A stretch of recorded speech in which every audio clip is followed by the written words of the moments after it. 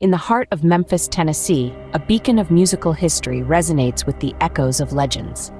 Welcome to Sun Studio, the birthplace of rock and roll, and the original site where the sound of the 20th century was forged. Located at 706 Union Avenue, Sun Studio first opened its doors to the world as the Memphis Recording Service on the 3rd of January 1950.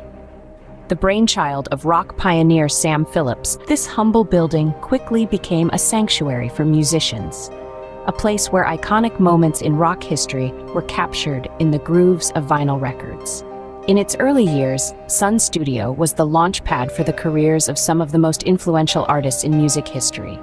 Elvis Presley, Johnny Cash, and Jerry Lee Lewis, among others, were all discovered and recorded within these four walls.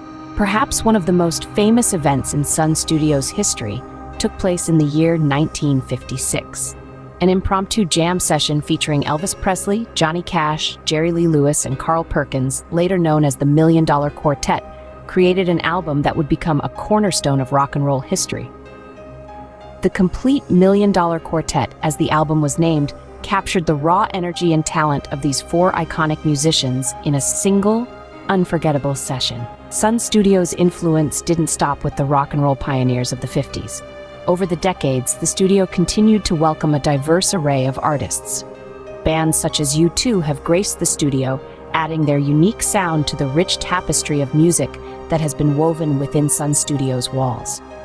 Today, Sun Studio operates as a living museum, an active recording studio, and a tourist attraction, offering daily tours for a fee. Visitors can stand in the very spot where Elvis first recorded, feel the energy of the room where the Million Dollar Quartet jammed, and immerse themselves in the rich history that permeates every inch of the building.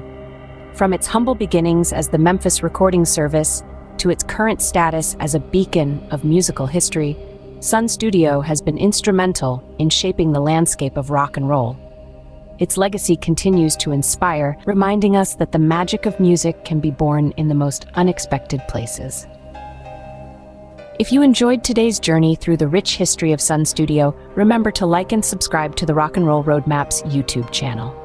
Until next time, keep the music playing.